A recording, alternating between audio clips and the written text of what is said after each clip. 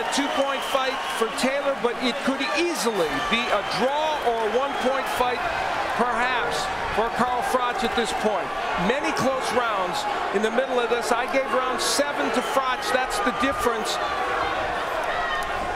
Round 12 for the WBC Super Middleweight Championship of the World. Carl Froch, the Englishman, wants to retain it. Jermain Taylor, the former undisputed middleweight champion, wants to take it. Taylor with some crisp punching to start the round.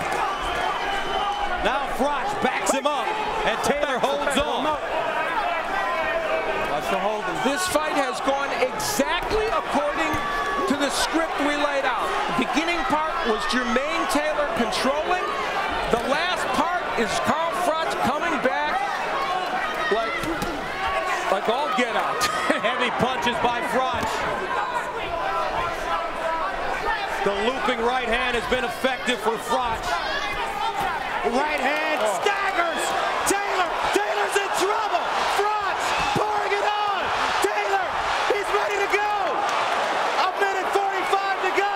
Froch closing in. Carl Froch gambling everything. His first defense on foreign soil against the former undisputed champ, and he's got him on the ropes. And remember, he doesn't knock Jermain Taylor down in this round and they don't give him a 10-8, it might still go to Jermain Taylor. Taylor needs to stay on his feet if he can. Taylor holding on. He ran out of gas. Froch, does he have it in him? Froch, Taylor staggering. They're ready to stop it. Froch, Taylor still on his feet. Under a minute to go. Froch again. Taylor, wild lunging punches, and he backs him up. Taylor trying to catch himself, using his jab, eats a right hand, another right hand, and he goes down. Oh my goodness! Eight, nine, give me a glove.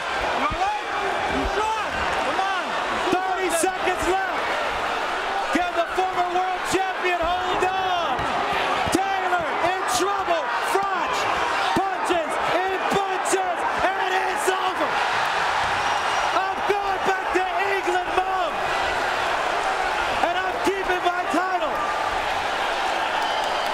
Carl Froch shocks the boxing world as he stops Jermain Taylor in the 12th round.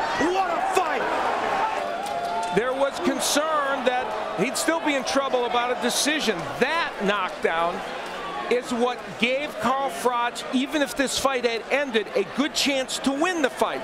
But as you can see, Jermain Taylor hurt bad enough that Carl Froch realized I have a very good chance of ending this fight, which of course is important depending on how the scores would have been. Jabs and right hands were the key.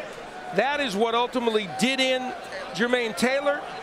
Taylor was able to give him credit, stay up at this juncture. That's astonishing because he was getting hit with some monstrous punches. And give Carl Froch credit for giving himself distance to punch. He didn't get himself so caught up to get so close to Jermain Taylor that he didn't give himself distance to punch. That was, I think, the key in him ending up stopping Taylor in this fight. And this is the end of the fight. See, Froch gives himself enough room to punch. He doesn't smother his punches and just keeps punching, and ultimately the fight is stopped. What a dramatic ending and what an astonishing performance by Carl Froch.